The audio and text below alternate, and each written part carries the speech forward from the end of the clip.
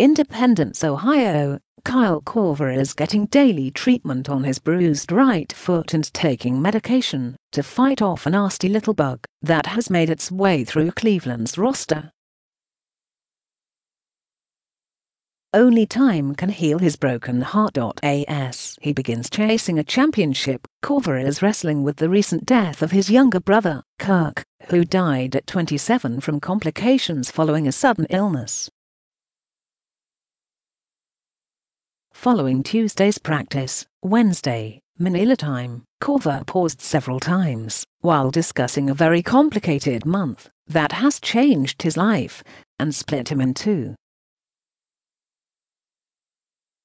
He's walking an emotional balance beam. Quote, you come back from dealing with death and the family and you hold that in one hand and you hold the playoffs here in another hand and it's interesting to kind of balance both of those at the same time and try to get yourself ready to play basketball, he said. And, I've been hurt. I feel like it's been a very complicated month in my mind, but I feel like I'm in a good spot right now, and I'm ready to play. Korver was on the floor for just four minutes in the 98-80 loss to Indiana in Game 1, but he's feeling better and expects to have more of an impact as the Cavaliers try to even the series on Wednesday night. The 37-year-old swingman has been comforted by his wife, Juliet, his family and an overwhelming outpouring of support from teammates, opponents and many in the NBA community. The words and flowers and text messages have brought some peace, but Korver remains conflicted on how to mourn, how to express his grief. You know that you don't cry when you think about your brother. Is that good? I don't think that's good, he said. I feel like I'm trying to go through all the emotions and stages and waves that people tell me about. I understand that this is part of life, and when you go through something like this, it's amazing how many people come up to you and talk about their own stories that they've had.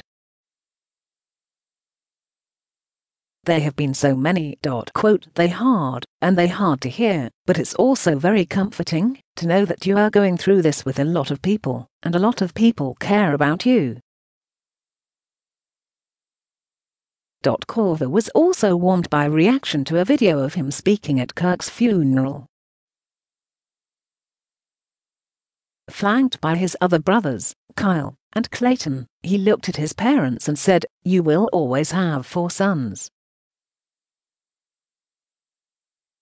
I'm told a lot of people have watched it, and it meant something to a lot of people, Korver said.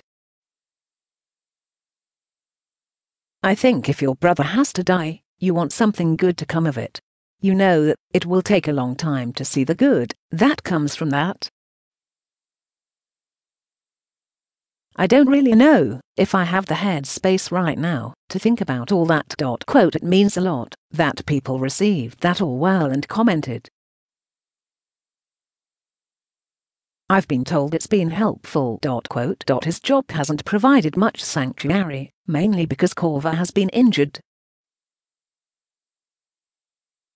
he hasn't been able to move the way he normally does, cutting across the baseline or coming off a screen to knock down a three-pointer.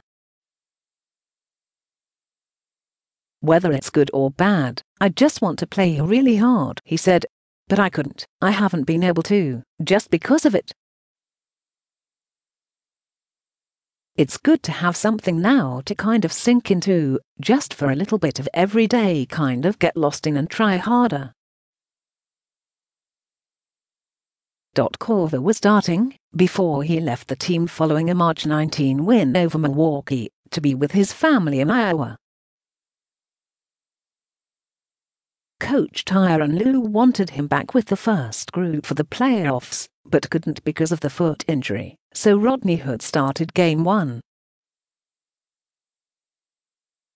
It's possible Korver could start Game 2, with Lue considering a lineup change Lue hinted he used what he thinks is his best lineup only for a brief stretch on Sunday when Kyle was out there for three minutes.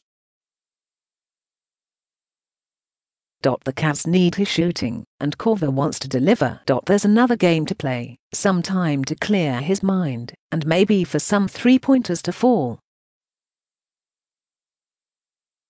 I tried that the other night and I got taken out real quick, he said with a smile.